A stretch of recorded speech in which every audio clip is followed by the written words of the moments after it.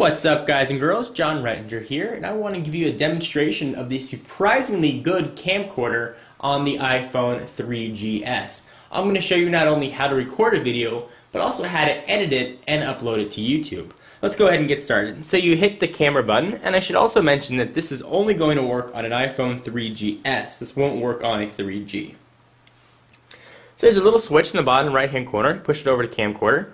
And here is the iPhone 3GS box we will use to uh, record. So very simply and quite obviously hit the record button.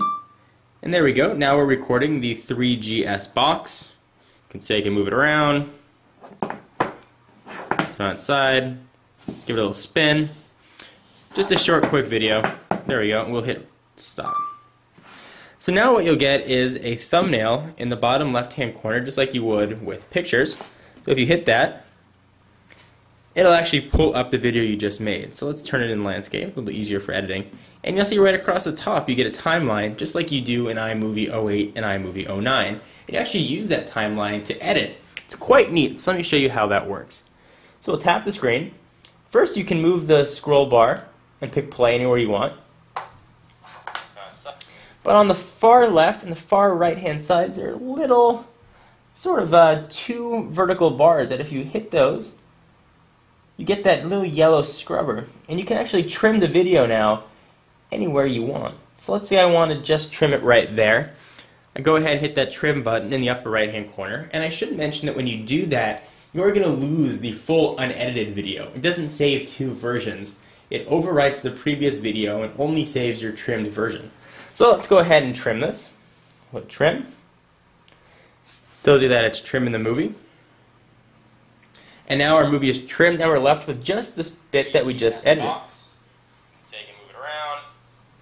So now let's say you want to upload this to YouTube, but you can do this really on 3G or Wi-Fi. So just like you would if you wanted to email a picture or someday send an MMS if you're on AT&T, email video, or send to YouTube. So we'll hit send to YouTube, obviously. And see right there, it's compressing the video, which is quite neat. It actually compresses it for YouTube. You go ahead and sign in with your username and password, and that's it. Your video gets uploaded to YouTube and it'll show up on your channel. You have the ability to put in your title, your tags. Really is relatively simple. I'll put the video that we just filmed and edited at the end of this in case you want to see another demonstration of the video quality of the 3GS. I did put up a full video yesterday showing how it looks outside, and actually it does look really nice. So hope you enjoyed. For exclusive content, be sure to follow me on Twitter, twitter.com slash jon4lakers. I'll see you guys in the next video. Bye-bye. 3GS box. You can say I can move it around. Outside. Give it a little spin. Just a short, quick video.